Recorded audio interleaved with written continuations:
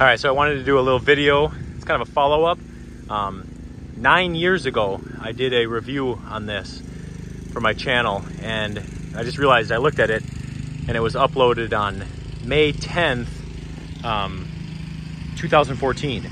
Or actually, no, May 9th, 2014. So uh, it's nine years and one day ago. So here it is. Um, just washed it, cleaned it up a little bit. I just got done, the reason for the review is I just got done um, rebuilding the carb in this. So do a little walk around here. I just got done rebuilding the carb. It was, um, the low speed jet was totally clogged. Um, and now it's fully rebuilt. Um, anyway, this trike is awesome.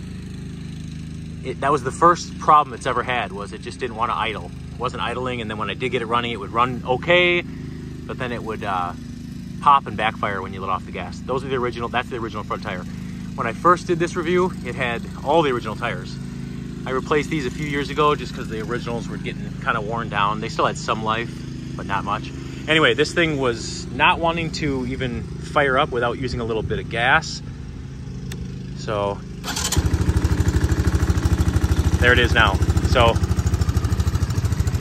fully rebuilt the carb, replaced the jets, fully cleaned everything, cleaned the emulsion tube. Um, and yeah, it is running awesome now. So back to its former glory. So everything's as it's been on here. These original graphics, they're getting a little bit chipped up I may replace those one day just to kind of get it all back to original.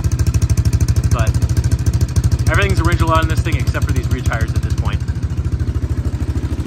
Has original grips. Everything's original, but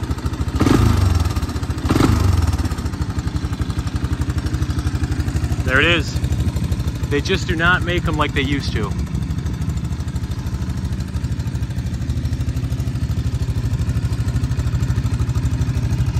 1982 Big Red 200E.